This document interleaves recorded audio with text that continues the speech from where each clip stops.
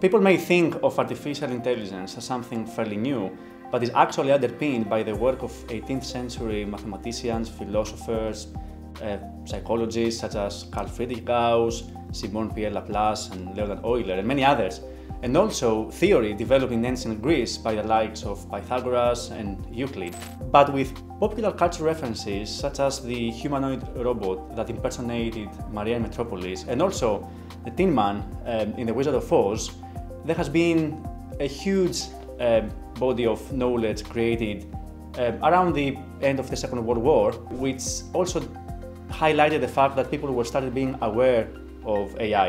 In 1950, Alan Turing, famous for cracking the Enigma code during the Second World War, asked the question, can machines think? And investigated how to develop intelligent machines and also how to evaluate them, the Turing test. Since then, there has been a huge body of AI research that brought us to today. AI uses computers, algorithms, machines, to develop intelligent systems. We do that by training algorithms with large amounts of data so that we can mimic how humans make decisions, recommend actions, and do all sorts of daily tasks. We can say that AI belongs to three different categories. So the first one, the narrow AI, is the AI that we see in our daily lives um, with the likes of Siri or, or Alexa.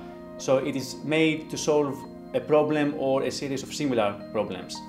The more theoretical and perhaps futuristic type of AI is the artificial general intelligence, where we have a machine that will be capable of having intelligence equal to human brains and also self-consciousness. The third one, perhaps the furthest uh, away, which remains very theoretical, is the artificial superintelligence, where we're going to have machines and robots that will be able to surpass the capabilities of humans and also perform tasks that we haven't thought of before. The second types of AI remain quite theoretical and it perhaps telling that the best examples of them come from dystopian uh, sci-fi films such as uh, HAL, the rogue computer assistant from 2001 Space Odyssey. So when is AI going to replace your job? Most likely very soon. I'm joking.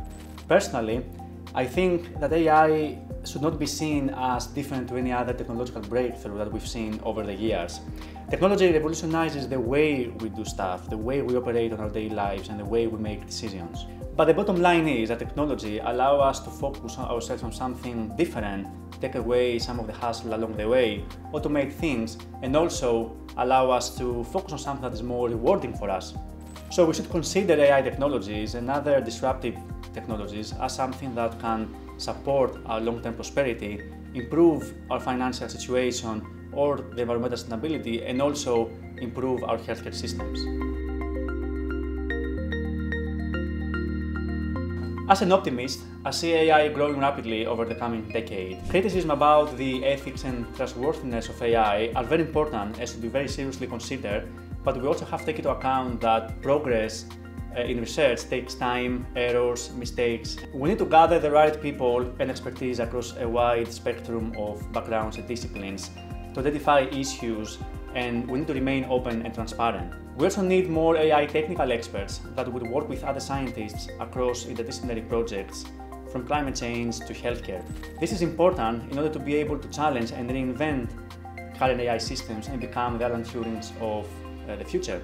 All I can say is that I see a very exciting future for AI, both from a technical perspective and also the huge potential to rewrite the rules of entire industries, drive the economic growth, and also transform all areas of life.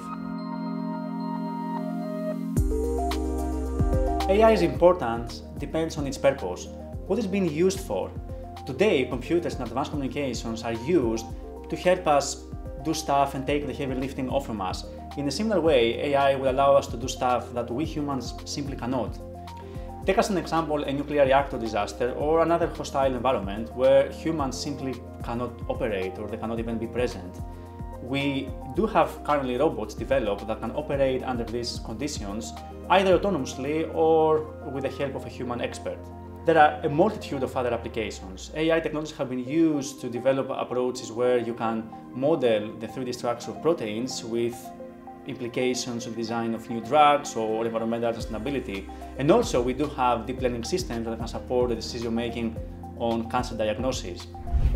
The potential that AI technologies are providing us are really endless, and we should embrace this change in the same manner that we did with all other technological breakthroughs over the past century or so we humans are very well placed to, to adapt, including reskilling ourselves and also upskilling.